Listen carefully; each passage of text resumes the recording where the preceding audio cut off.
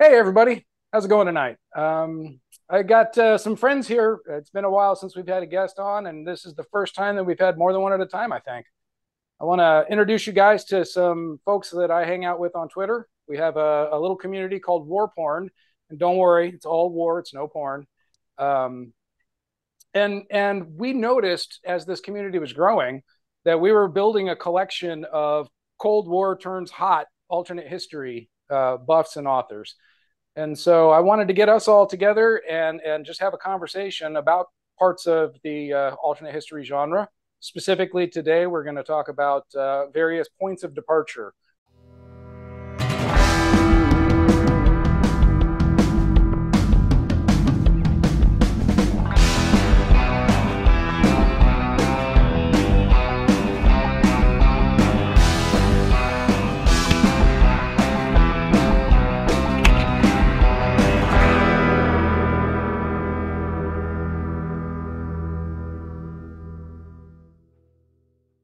Uh, but first, let me go ahead and and introduce you guys uh, to the fellas, and just going in no particular order.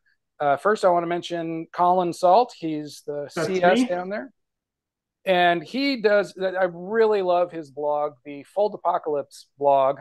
I'll put links in the uh, description to all these things. But but when I found, I think I ran into a book called the War That Never Was. And I had not heard of this book before, and I didn't realize that it was a thing. And so I started Googling around, and one of the first sites I found was Colin's blog, and it's just fantastic. It's really, really cool stuff. Yes, it's amazing. I it's one of the best things I've ever done in my life, and I'm not exaggerating. It's it's amazing for me. and Colin has also uh, done some work with the uh, Sea Lion Press, so you can see some of his stuff over there. But I think most excitingly of all, he did publish his his first. Oh, actually, no, this was your second All Union. Uh, second, yeah, actually, it's my third, but it's yeah, my it's my first old, real alternate history in this genre, basically. Right. So that's what I'll call that. So yeah. So and, so yeah, Colin Salt, All Union. Go ahead. Yeah, that's never mind. Keep going. Oh. Uh, next up, uh, so we'll go ahead and stick with the blog topic. But uh, next we have Mike Cee. He has another great Cold War Goes Hot blog called the uh, World War III 1987, and and that one is you know also it's been around for a while. It's got a lot of detail, and you know he just builds on it over time. So that's been uh, it's been a lot of fun keeping up with that. It's it's interesting, and you're going to hear a lot about this, uh, you know, as we move through the various stories because they're we're telling World War III it's you know almost always Soviet Union, United States, or rather Warsaw Pact, NATO. Uh, so there's a lot of commonalities. So I think it's really one of my favorite things is when one of us comes across something the other has recently written, and we realize, oh, we're you know we are writing the same story. Um, you know, and and it's neat to see the different conclusions that we come to. Um, and uh, let's see, anything else uh, that I'm missing there, Mike? I guess that's enough for now. Um, just real quick, I've got a first, finally, first off, uh, first novel is going to be published. Right now, it's looking like September. It's going to be out. Um, Looking forward to that. Yeah, that, that, that elusive novel. yeah, it's been. Oh. Keeps trying to get away from you. the publishing house, you know, they it's it's a business for them. So sometimes they're not moving as fast as I'd like them to. No big deal. Right. But the um first book is going to be called Dawn of the Dragon. It's set on a U.S. Uh, China conflict in the near future. So technically, it's World War Three, but it's a more contemporary World War Three. That's right. So. And and for my viewers and readers, uh, you know, it's going to be probably you know similar, but um, a little more compact, I'm sure, than the Monroe Doctrine series that I worked with with uh, James James Rosone. Um, I'm really looking forward to see what Mike uh, Mike has to do with that. That's going to be that's going to be Thanks. really cool. Thanks, sir. Uh, of course. Next up, we have Joel and Bart, and you two. Uh, much like the war that never was, I came across you guys uh, on the the bulletin board for the video game Command Modern Naval Air Operations, which is now just Command Modern Operations. Um, and you guys wrote a book called Northern Fury, and and we're all we're I think that we're all more impatiently waiting a second one to that than we are Mike's Dawn of the Dragon. because you know Mike has this excuse and you guys are just lazy. So tell us about that. yeah, life, life, is getting in the way uh, of, of, book number two, but uh, it is in the works, uh, and it picks up literally uh, the next step downrange uh, from where the last book leaves off. That's great. Yeah, to just to clarify, the the delay is my fault, not not Bart's. Well, you uh, can't write a novel and get a PhD at the same time. what the hell? True, he's right. Uh, that leads us to uh, to TK Blackwood, and this one always amuses me because when I first came across Blue Masquerade, there were two things it had going against it. One, junior varsity cover. Hmm, yeah, that was a that was a second string cover you had there. And then the other one was uh, that I didn't understand how he could have written a book about World War III between you know Russia and NATO in 1992. I mean, that's that's a two week war. Um, you know, they come over, we blow them up from the air, and then you know we set up McDonald's in in Eastern Europe. Um, and so I actually, I actually was like, I wouldn't say I was refusing to read them, but I just, I lacked a lot of interest in picking that up because I'm like, this guy clearly doesn't know anything about the Cold War, about you know the Russians and the Soviets. And within, when I finally did bite the bullet, um, and I was about to say something mean, but I'm not going to. It wasn't to anybody here; it was to somebody who's not here. Um, I, I, finally read I finally read the book, and within the first you know 20 minutes, it was it, was explained to me, and and that's what we want to talk about today. I said points of departure. Uh, So again, it's where the story changes, or I'm sorry, where the timeline changes between their universe and our universe, however you want to look at it. So I, I want to kick it to TK first, so he can explain to us how on earth you can have a interesting World War III starting in 1992. So, what was your point of departure? So, I, don't even remember when I first became aware of the assassination attempt on Leonid Brezhnev. Uh, but at some point when I when I discovered this, I was kind of blown away by, you know, what an incredible change in history it would have been had this freak event actually gone through if he had been killed. Um, I mean, clearly there's a lot to be said on the topic, but Brezhnev played a significant role in the downfall of the Soviet Union, the decline um, that ultimately, you know, took it off the, the, the world stage. So, you know, again, what would have happened if somebody more competent had taken command, somebody more interested in modernizing, keeping pace with things? Um, so, yeah, I mean, the the story goes in 1969, um, an army deserter decided for some reason he was just going to take Brezhnev out, took a pistol, took a shot at the motorcade, and just through sheer luck did not get Brezhnev. But I mean, butterfly flaps its wings, it could have easily gone the other way.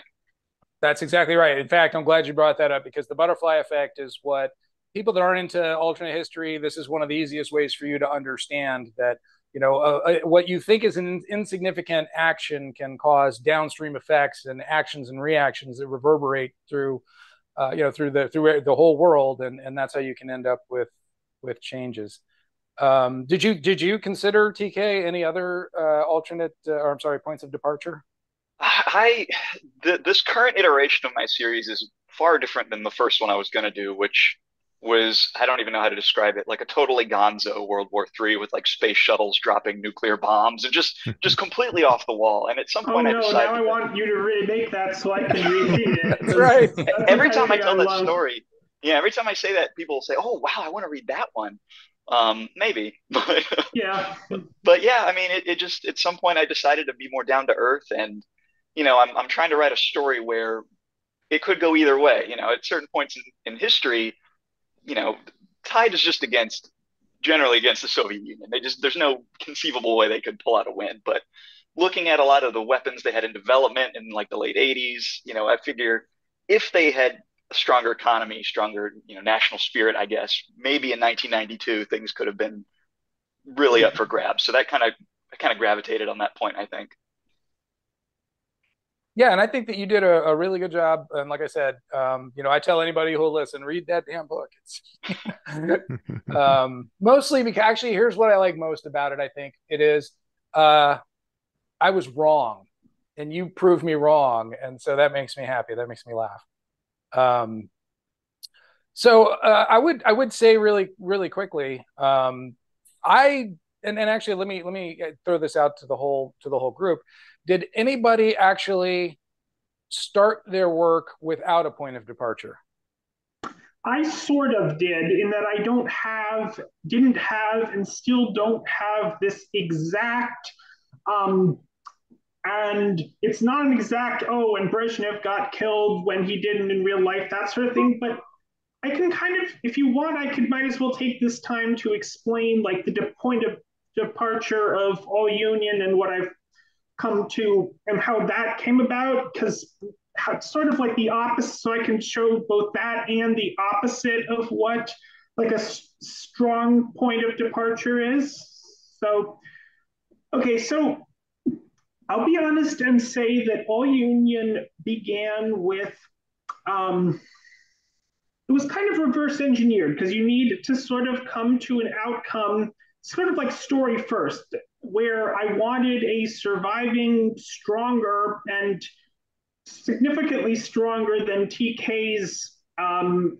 has it USSR so that it can actually be as well equipped as the stand-ins for it in the OPFOR manuals are. Um, and so anyway, so basically, and I took a few things from history, but so basically I hand waved it so that the USSR manages to have unrealistically good, yes, I'll say that, economic reforms, unrealistically good political reforms, and that that's, I guess the biggest change is that Gorbachev never appears. I have a completely fictional national savior type called Anton Yatchenko, who is a fictional character, and that's the only, and then that's what happens. I did use the term sovereign union for this reformed one because that was a name given to it, supposedly changed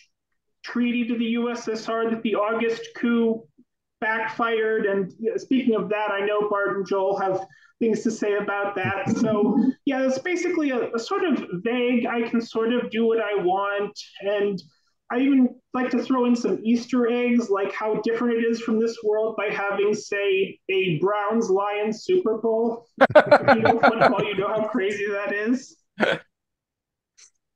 I, I, do like actually. I will. I will say as an aside, I do like when you uh, when you throw some sports in there. It uh, it always yes. makes me laugh. In fact, actually, one of my uh, last reviews on Amazon was was thanking me for allowing the Chargers to win the '81 Super Bowl. So I was be happy with that. Um, but speaking of uh, of Joel and Bart, uh, what did you guys decide um, to to use as your point of departure, and more importantly, how close to the start of the book was your point of departure? Yeah, well, I'll, I'll take that one and hand off to to Joel. Um, uh, of course, it was it was the August coup um, that uh, that starts our book. Um, hardliners take over. Uh, Gorby has a bad day uh, and a really bad headache. Um, so that's that's what launches the divergence for us. And I guess I probably started framing out the story around 91, 92. So it wasn't that far removed. Uh, I started developing harpoon scenarios for the predecessor uh, uh, of command uh, but uh, found harpoon wanting and life got in the way and I just dropped that. Uh, but so that that was it. Um, and so I was in the Army, the Canadian Army, during the Cold War days as a forward observer. You know, we're had it drilled into us what was going to happen. so I was living that, and I wanted to to to map that out uh, and we've got a 94 or 94 war um, and trying to take full advantage of the Western peace dividend uh, and allow Russia two or three years to build up that unrealistic uh, economic resurgence. Uh, but uh, anyway, so so we're we're not far off uh, TK with a with a 94 war, but it was that August coup, and I'll have to hand Joel the credit for the uh, the uh, the speech off the tank. Uh, that was uh, that was uh, his role, and with that, uh, over to you, Joel. Yeah, I mean, I, I think we kind of have a hy hybrid. We we have our hard point of departure, which is the August coup, but really the important thing that sets up that departure is our fictional character, you know, Pavel Med Medvedev, this, who becomes the Soviet president, and that there's things going on that that we don't describe in the book. That he's this kind of hybrid hardliner slash uh, utilitarian who uh, is is sparring with Gorbachev through the 1980s. Um, and a little bit of the inspiration was actually from science fiction, from the new uh, Battlestar Galactica. Okay. Um, if you th- there's in the the last season, there's a great cup. There's a great episode where there's there's a coup launched on the spaceships against um, the military and civilian leadership, and and there's just this great, what I feel like really inspired by historical coups plotline where uh, the coup could go either way. It could go for the plotters if they're if they're willing to be ruthless enough. Right. Um, and if they're not, then it's going to fail. It's on a knife's edge. And uh, and so we we kind of put the August coup into that situation that if you have this guy who's willing to come in and be ruthless, um, it's going to succeed. Um, and with the groundwork kind of un- unspoken already been laid in the years leading up to that, uh, I, as a kid, um, moved to Moscow just a few weeks after the August coup, oh, and wow. lived lived there, lived in Moscow for two more through two more coup attempts, uh, uh, or insurrections, whatever you want to call them. But if you you know, yeah. I, I, remember going down to central Moscow and taking pictures uh, with the the White House that Yeltsin had brought in tanks to to blast. Uh, his opponents and right you know, got some pictures of me. Yeah exactly. Uh, so i've got some pictures of me as a kid you know uh, and what a lot of people don't know is that that's right next to the us embassy too yeah. um, where i would do boy scouts. Uh, so uh, so I, I, had kind of some personal uh, personally invested in kind of you know what it was like in moscow during that time and and right. some real affection actually for the city and and the people in the city so did you learn Russian while you were over there, or uh, were you just in, in the American schools? I I did learn Russian. Don't ask me to speak it now. I can still read it and understand it pretty well, but speaking is uh is a challenge. Yeah, that I always run into this problem is that uh, I was a, a, a Russian linguist in the Navy, but it's like you know we didn't spend a lot of time learning you know how to get to the Bolshoi theater. You know we were like very specific about okay, did that guy fire a missile or what? So yeah. very specialized vocabulary. Yeah. You're going to say something, Colin? Well, my stepmother was is a native Chinese speaker, but you could not have her be a linguist in military linguist without even if it was in Mandarin or Cantonese, it just that's it's different from what normal people do. So I can imagine that. So yeah. And I mean, e- even looking at our own language, you know, and and the stuff that we write, even there's so much jargon, there's so much, so many acronyms, yeah. and you know, yeah, English is English is the beast of a language, especially when it you add in some field manualese in there. So yeah, and true. and no matter how you write it, go ahead, Mike.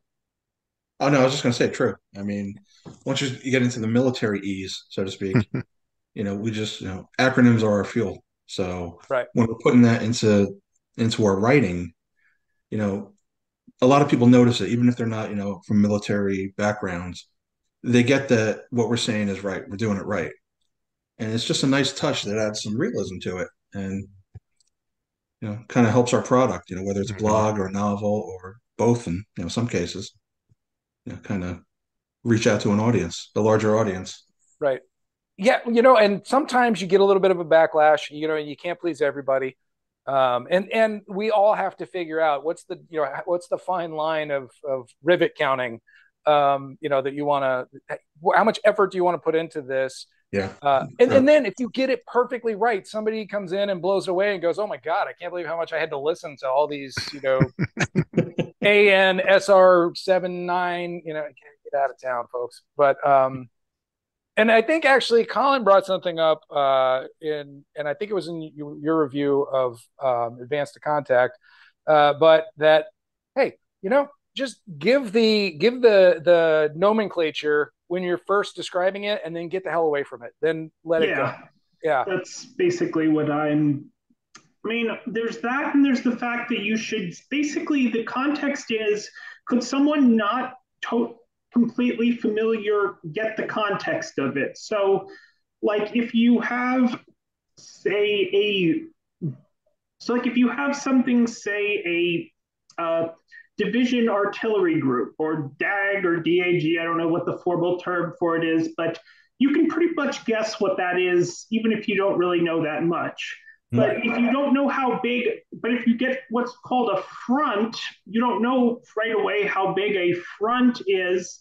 But so therefore, you need a bit of context to explain that a front is a really, really big army formation and probably the largest field formation there basically is. Right. So that's how it's it's just a yeah. loose rule for me. Obviously, you can't one size doesn't excuse me fit all. Yeah, and, and as a Navy guy, that's been my biggest problem. I was trying to keep track of all these Army uh, formations and sizes. We uh, we got around that a little bit by having my daughter proofread the book. Um, if she could understand it, anybody could. There you go. Okay, That's well, editors. Yeah, um, Mike, we were uh, speaking of you. Uh, what's oh. your what's your point of divergence on uh, World War III, 1987? Point of divergence is pretty simple. Um, it's pretty much the August coup of 91. Starts off a little sooner, starts off in March of 87. Um, Grigory Romanov, who was a big time hardliner back then, um, he's the uh, ringleader of the coup.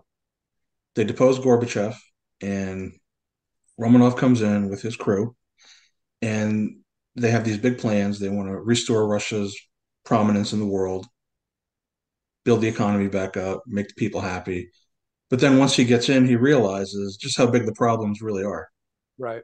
Kind of similar to Gorbachev. You know, Gorbachev got in and he saw for himself just how rough things were.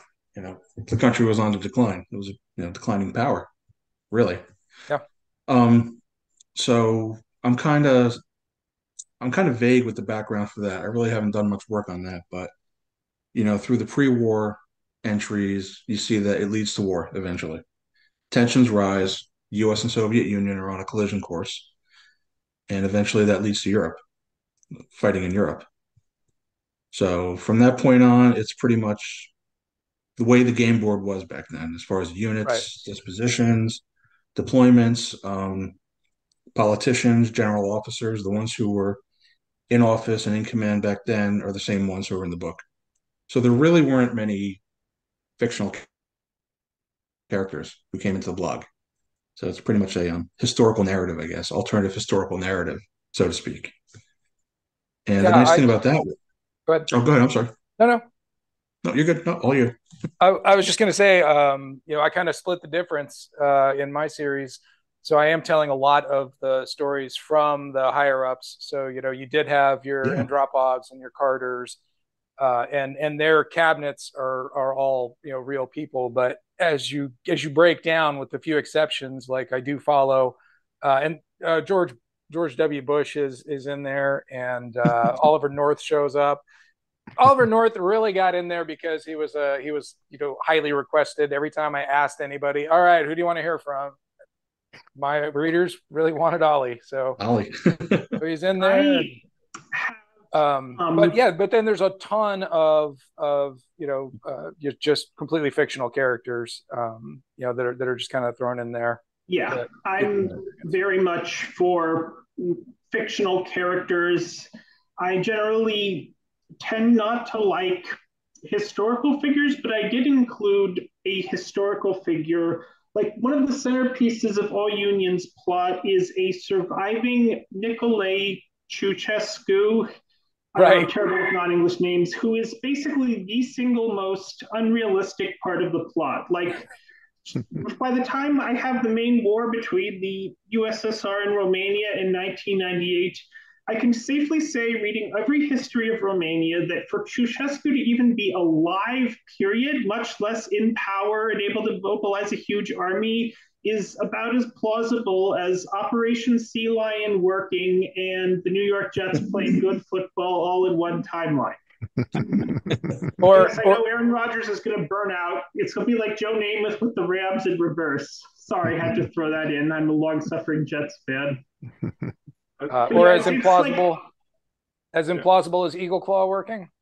Yeah, Eagle Claw is Sea Lion and Eagle Claw both working. Um, Eagle Claw was probably I've everything I've heard about Eagle Claw was that it's was that it was a good thing that it failed as early as it did because if it actually got into Tehran, the city would be destroyed, the hostages would probably all be killed, and you would have like a giant war right there because it, it was yeah. It, but yeah, so I basically have pure fictional characters because I find it gives me a lot of flexibility because I don't need to worry about getting a historical figure really right if I can just have it. And I can sometimes do the different splitting of making a fictional character who's inspired by one or more, but you can still make them your own person. As I like to call it in a Simpsons reference, you don't need to worry about getting Mike Tyson right if you're writing about Drederick Tatum, the right. parody of him. So that's that's the sort of that's basically just my philosophy and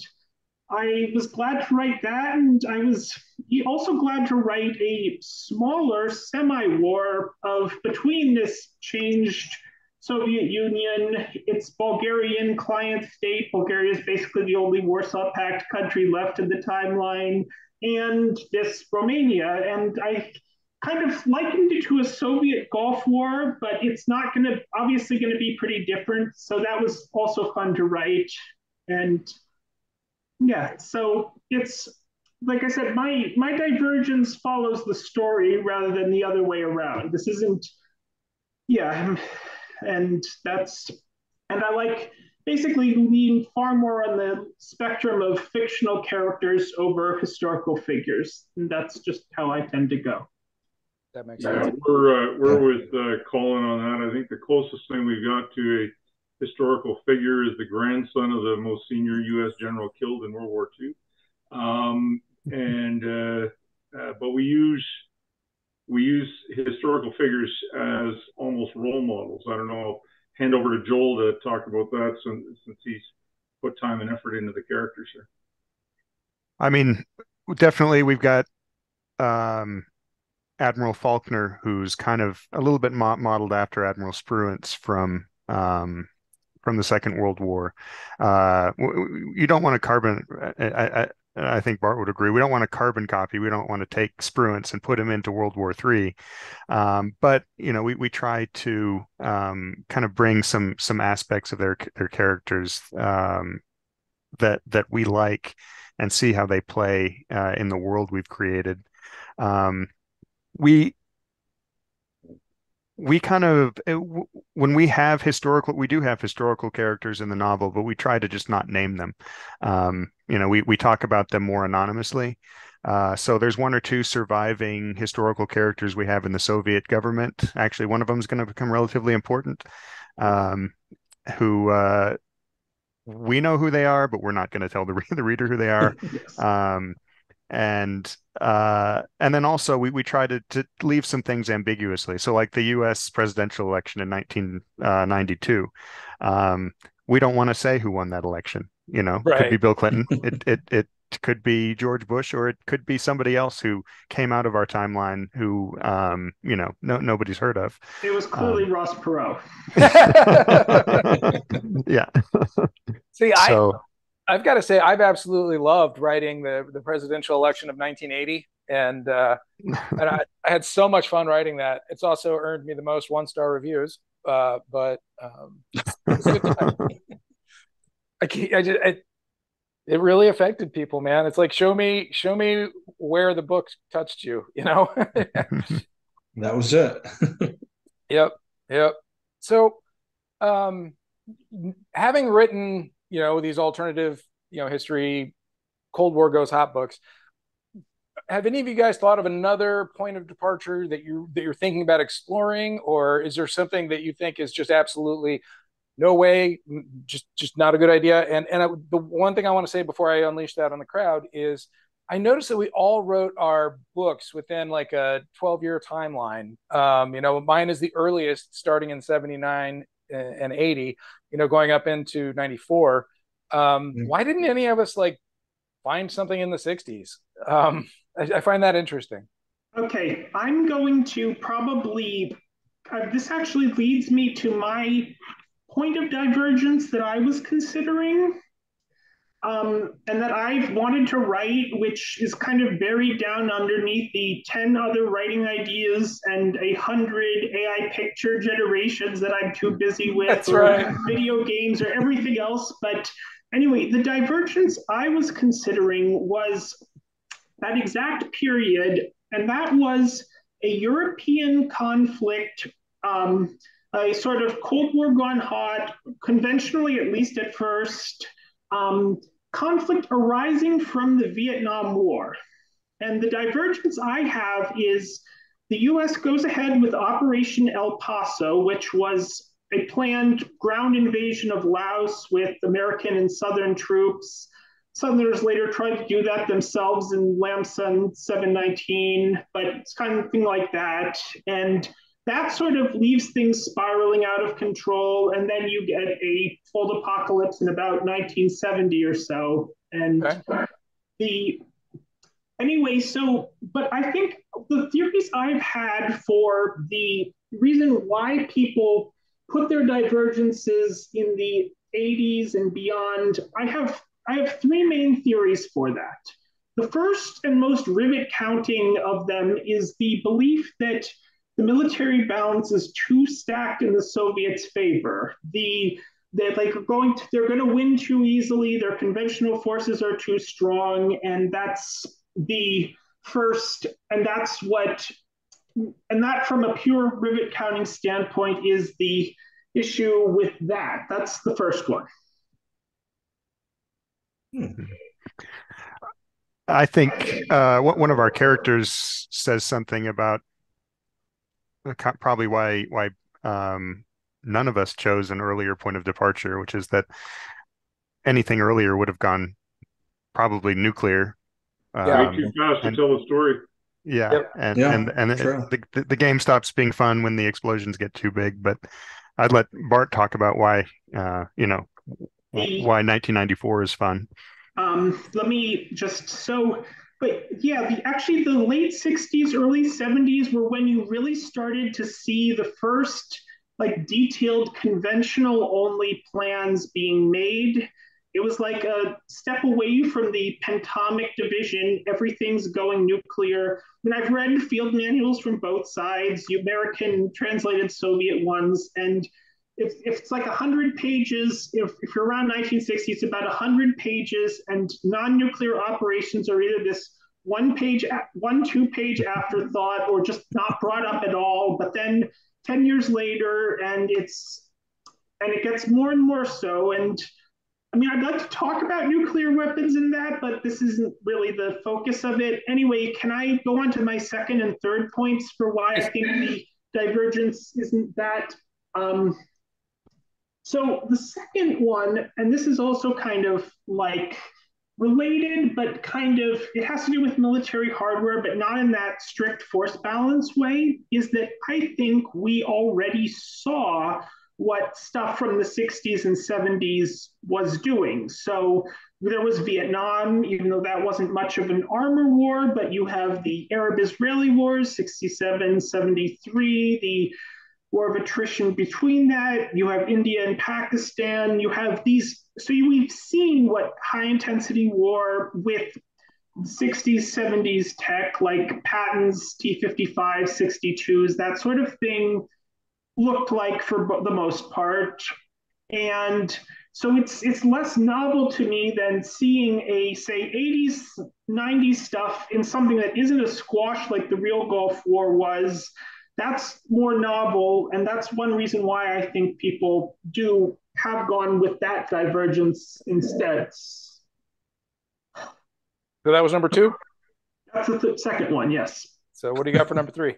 The third one, I think, is simply because of the time when the first contemporary, then contemporary World War IIIs appeared. So, like Hackett was in 79, 80, Chieftains, Red Storm Rising, Red Army, that kind of things, all in that 80s time period. And then you basically get, and since because of that left the impression, many people will get that, will just go for that because it's the impression that they've got. So that's the third one, basically. Gotcha. I think those are all those are all uh, compelling. Yeah, those, sure. are, those are good. I think though, um, as far as you know, the uh, timelines and starting up in the '80s, where you have the um, the change.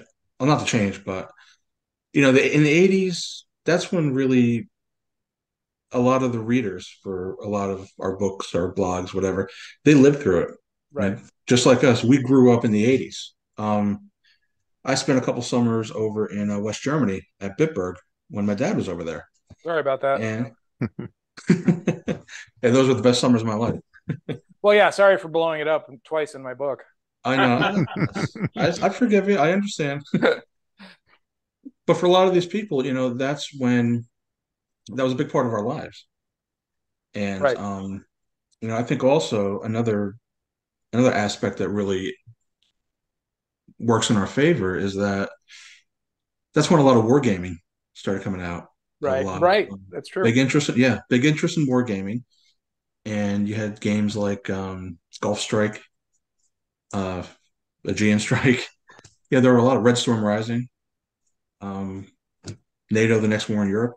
You know, people played those games, and that got people thinking about beyond the game. You know, what war in Europe might look like. Yeah. So you know, Bart mentioned uh, Harpoon earlier. Um, yeah. And and I, were you referring to the to the computer version or the butcher paper? Uh, both actually. Uh, playing around with the butcher paper one in the in the mid '80s, and then uh, Harpoon, the computer game, was the first game I got for my computer. It was absolutely fantastic. Crashed about one every ten minutes, once every ten minutes. do a total system restart, but that yep. didn't matter. Uh, went online long distance on my phone modem to the bulletin board in New York City to, to get scenarios. Uh, Started uploading scenarios to that, and I was I was fixated. I'm an army guy, uh, and uh, this stuff fixated me. And then uh, managed to get myself on the Naval Gunfire Support Course, which was the hardest four hours of work I ever did in a week. Uh, and that, that, that, that, tipped me into uh, Navy stuff. Yeah. Um, and then uh, and and uh, so I'm a forward air controller. I've done naval stuff. Uh, when I did the nuclear fire planning course in the mid 80s, that scared the hell out of me, and I wanted to stay away from that as much as we can. That's why we slid into the 90s a little bit. Um, and uh, and I think that uh, the later 80s and early 90s, had we followed the technical um, sort of streams that were running, um, then then that's what we're trying to show in uh, in Northern Fury '94. Uh, that that the Russians actually had some pretty decent stuff in the pipeline right. if they were able to um, manufacture it, which itself is a bit of a pipe dream, but but it's a it's a nice white F or what if. Uh, so I, I, wanted to to play around with that yeah, that makes that makes sense. In fact, you know, I actually got my uh, one of the reasons why I thought I might be able to pull off a novel was writing after action reports for Harpoon games for my friends. You know, I had friends that didn't even play the game. We we actually were all flight sim dorks, and uh, and I would just write. I'd, I'd, play Harpoon on my lunch break and then write it up and and send it out to them. And they're like, "Oh, this is great, man!" I'm like, "All I did was played a video game and told you what happened. What are you talking about?" Which is actually scary. Harpoon once. Now, What's that? I've played tons and tons and tons of Command, but I have never played Harpoon once. Wow. But I did play Jane's Fleet Command, and that was sort of like the stepping stone that got me into Command Modern Operations. Because when I saw the interface of like it's just like a chip logos and things, it's like I, I knew I had at least I knew what the basics were, and that was sort of like an invaluable get me into that. And it's was basically amazing from there. So yeah, I have not played a single um, a single second of Harpoon, and to be honest, because Command has sort of superannuated it, I'm not oh, really yeah. sure I want to. Big time, yeah, yeah, yeah. That's because you're so young, Colin. yeah, I, I, was born in 91, so I did not live in the 80s. I lived in the 90s and 2000s, and it actually kind of reflects in my books because in my non-alternate history books and in all union, I have a lot of seeds in the 90s and 2000s. So it's kind of that callback to my childhood there, but so that's not a Fuldapocalypse, but yeah, it's it's something, and so that's TK is yeah, uh, about the same age, isn't he? Yeah, at 89, late 89. So okay. yeah, same thing. Yeah. Just but, uh, to piggyback on what what Mike said though about about games, um, I mean, in Northern Fury, the story we're telling is is Bart's story. I like uh, Bart's been been telling the story through scenarios, you know, uh, and and and I, you know, he invited me along along to to tell it, but the thing was is like I experienced his story through the command scenarios, and just like you, I wrote you know wrote up uh, AARs of it because to me, the Bart has an ability to tell stories through scenarios that is really really fun for me. Yeah. Um, and uh, I mean, I, I guess I don't know if I'm. I think a lot of people are like this that that we make up the stories of what we're experiencing in the games that we're playing. Like mm-hmm. um, the game mm-hmm. we're playing is kind of a story, uh, and so it. I think it's kind of a natural, uh, you know, a, a natural inspiration. Right when I started reading Joel's AARs, I, I, said, I better get this young fellow on board or he's going to gazump me and write this book first. Right. hey, Alex. Uh, yeah, Mike. Uh, just out of curiosity, what flight sims were you into when you were uh, younger? Uh, World War II mostly. I was oh, really? uh, okay. all over Air Warrior back in the in the early '90s, back when that was really the only oh, yeah. massively multiplayer game. Uh, but at the time, it was uh, Aces High when Air Warrior went tits up. Uh, I remember that one. Yeah. And oh. uh, I was just a terror in a Yak 9U. Not a lot of Yak men in the game, but it was faster than a pony at uh, sea level. So. Gotcha. that was actually, you know, because I'm, I'm such an analyst. Um, I really, I really fell into this this this fascinating idea that okay, uh, uh, if you look at American aircraft, especially just take fighters, um, they're optimized for as high of an altitude as you can get because right. they are escorting bombers. They want to be able to outperform fighters at the altitude the bombers are operating at. Um, Russia, no, they were like, oh, if we're above 10,000, 15,000 feet, we're doing it wrong because they're all concentrated on the ground support and yeah. protecting those aircraft. So if you didn't want to spend 20 minutes climbing to 30,000 feet, you know, you're better off in a Soviet airplane. And then the, and then the, and then the Cold War runs around and the things get reversed because you get the MiG 15, which is a bomber interceptor first right. and a fighter jet second, and then yep. the Sabre is kind of the opposite. So, yeah, yep. kind of ironic in that sense. But that's what requ- changing requirements mean. Yeah. Right yeah and and it's just the you know it's the evolution you know you, you, they they needed airplanes that could get higher and faster um you know because we had b-29s you know? You know now they didn't have to worry about b-17s or b-29s when they were fighting the germans. They didn't have you know massive heavy bombers. Right. um, so yeah. So yeah that's Mike, I think another technical Easter egg I did for all unions, since we're on military rivet counting, is I made the Object 640 Black Eagle semi mythical tank the main tank in the 90s, and I just called it the T94 because the T95 is a real it was a real another real never war pro, prototype and the T93 1993 seemed like too soon to get it into service so I kind of split the difference 94 it's it's kind of fun to do it. I like one of the guilty pleasures of mine is looking up strange things that were like mostly only existed on blueprints and then finding a way if I can sort of sneak them in somehow. And yeah, that's cool. That's, yeah. Wish I'd had the courage to do that. I, I, really wanted to include like the Black Eagle, but I, I, I couldn't make it work. I, I, I shied away from that. I mean, it's basically just a T80 upgrade with with a turret, with a bustle autoloader turret, other things. It's not that hard, but you get some pretty crazy stuff like the MX hovercraft, which are like giant hovercraft that would fly across the Great Plains and then shoot MX missiles to back at Russia after they launched, and then you have a fighter plane that was actually intended to use its own sonic boom as a weapon. Like it would just fly over the enemy, hit the gas, and then boom. and these are real proposals, and it's it's it's kind of you could do an entire book on just those. It would be amazing and silly, but also amazing. Well, I got I got a chronoplans to work in uh, in uh, advanced contact, so that was something. There was actually them in uh, Baltic. Yeah, there was a whole subplot. there, was, there was a whole subplot in the book that was all about the Naval Security Group uh, tracking radio transmissions and CIA tracking fuel, you know, dispersion, and and and yeah. they were all trying to figure out what it was all about. And it turned out it was the chronoplans, and and yeah, the editor ripped the whole thing right out. this is and this is what I like about about Colin's book is that Colin's book it it it's it's everything. You know, like they told me the, the editor was like, dude, this is a this is a war book. You know, it's not a uh, treatise on international relations. So yoink, there went a half of my dialogue between Zbigniew Brzezinski and uh, and Harold Brown.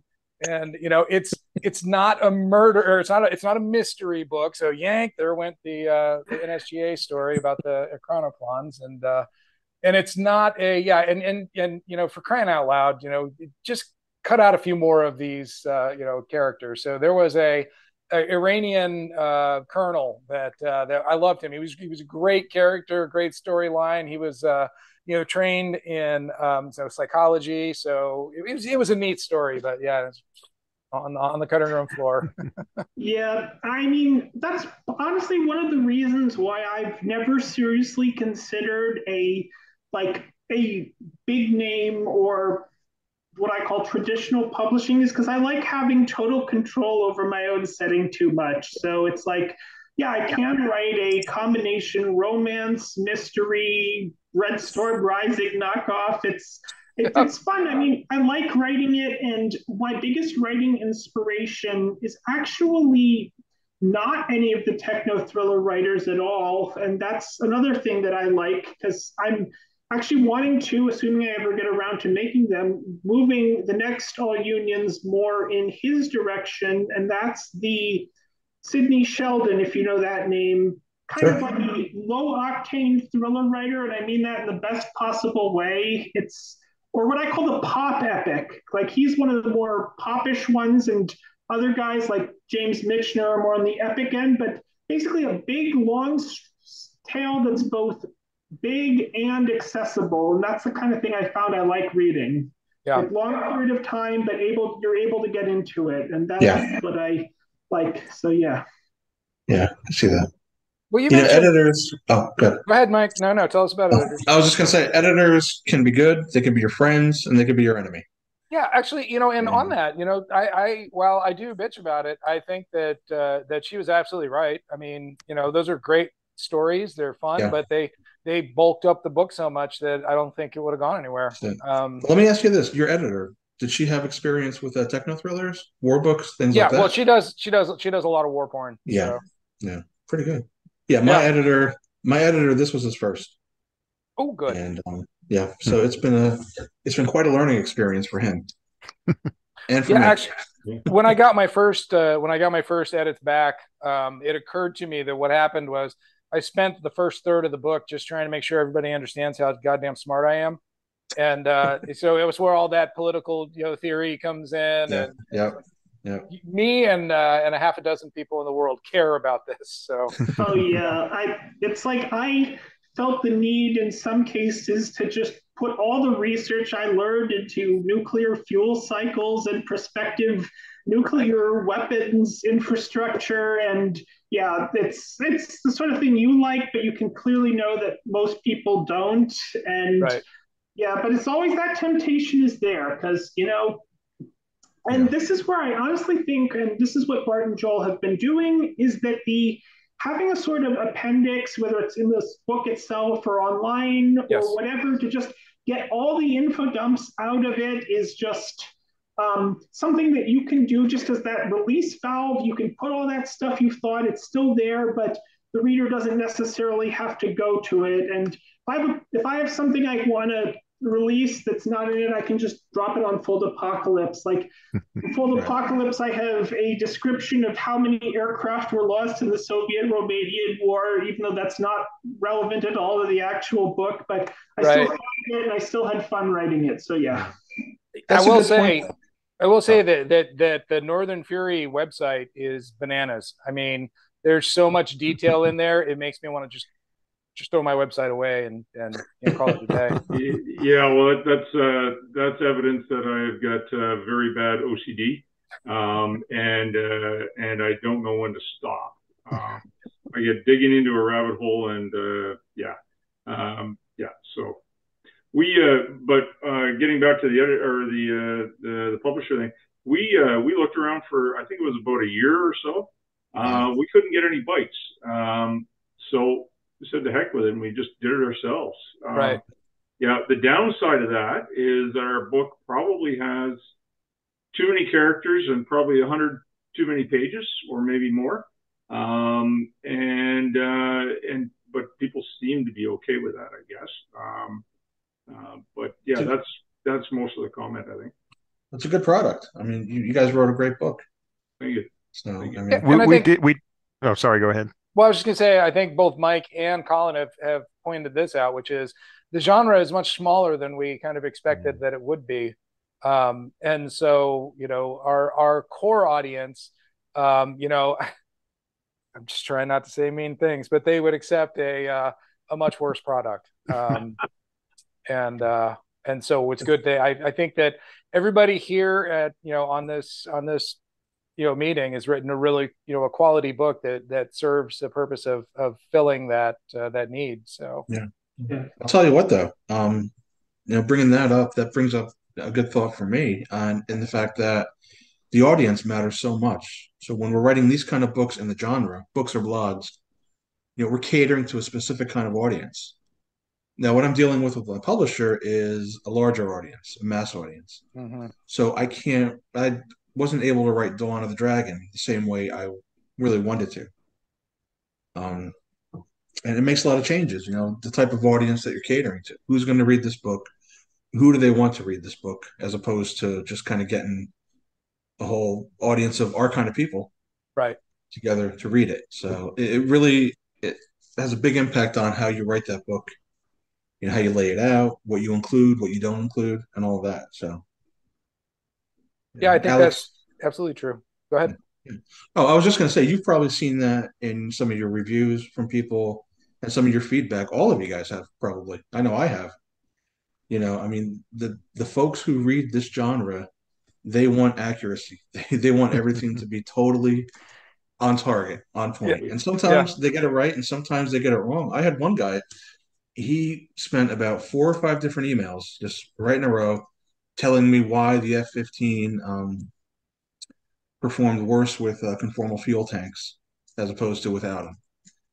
And I couldn't just turn around and say, You're really talking to the wrong person about this. I just kind of I was like, Wow, that's interesting. That's good, you know, but, you know, the people, the readers in this genre know their stuff. And yeah. They want that to be known. When you, if you, they think you screwed up, they're going to let you know. They're going to let you have it. It's, so it's funny because uh, and and Colin saw this, but in the uh, Sea Lion Press uh, bulletin board, there was a discussion about uh, about AI and using AI in uh, in writing, and I was just like, well, I use it for research. I ask the AI questions, and if it gives me an answer that at least sounds plausible, uh, okay, I'll take that. You know, if I have to do a little more digging, I'll do a little more digging. But ultimately, I'm going to leave it to my beta readers to tell me if I've really got something horribly wrong and uh, and there was just some some weirdos on that forum that didn't that, that, just didn't take to the idea that you would that you should try to be as accurate as possible, you know, in this particular genre. So I, mm-hmm. it, yeah, it, it's a long story in its own right, but uh, the important thing you have to realize, besides obviously who you're writing for, what pressures you're at, is that you simply cannot please everyone, and you shouldn't try to. So that's right. That's right. Yeah. Okay, well, we're coming up. Oh, go oh, ahead, sorry. go ahead, Joel. I, oh, I mean, Bart's mentioned. Bart's mentioned before that. Uh, I mean, he's an army guy. I'm an army guy too, and we're writing about mostly naval and air stuff. And uh, I mean, I mean, Mike and Alex, you guys are naval and air guys, and I think you write a lot, a lot about ground stuff. Uh, I think the That's way right. we, the way Martin and I describe it is, it's just different enough from our day jobs that that it doesn't feel like work. Um, so you know, and and then it maybe keeps us sharp to make sure that we are being accurate or trying to be accurate at least. Yeah, and I'm the armchair guy who could not do who has not had been anywhere close to the military in real life and could not do anything in an actual war except get killed. So i'm so that's what i do and i'm very honest about that but i still try to do my best. Oh we could find it we can find a place for you in intelligence i'm sure. Yeah intelligence or being the first wave to march into Bakhmut, that kind of suicidal drone. Oh, bullet sponge, yeah. Yeah, bullet sponge or intelligence. That's basically what I could only what I could be useful for. But yeah, it's yeah, that's yeah. I mean, I've yeah, I found that it's it's yeah, it's you when you have these niches and things, it gets kind of it can be kind of different in how people look at it and not just how compared to how like broader normal fans of right fiction even that kind of fiction look at it and it's kind of honestly a little fascinating but yeah yeah, and I think we've heard a couple of people on the call, you know, mention. I think I know uh, Colin has uh, and I know I certainly am looking, you know, forward to stretching my my wings a little bit and, and trying to get out of the the war porn, you know, specific genre. I would like to do a little historical fiction, but I have to admit I'm terrified uh, because in in a current in my current book, you know, I've got anywhere between what 30 and 50,000 words that are all just pew pew pew pew pew and you know if I rip that out, what do I got left? You know, oh my God, I may have to develop my characters. What's this all about? Well, guys, we're, we're coming up on an hour, um, and and I do have uh, I do have some place to get to, uh, but I wanted to say thank you guys very much. Um, this has been thank a you. lot of fun for me. Same here. Yeah. yeah thanks, Alex. Thanks for putting it together. And Thank and you, you, know for all the for the viewers, anybody that actually made it this far, go and hit like and subscribe to my channel. um, but no, come join us on Twitter. We're at War Porn. I'll put a link to the community in the uh, in the description. And again, it's all war, no porn. So, all right. Well, thanks a lot, guys. We are going to do this again. I'm sure of it. Okay. Yeah, sounds good. Sounds Thank good. you very much. Thanks, Alex. Thanks, Alex. Right. Take care, guys. Nice seeing you guys. Bye.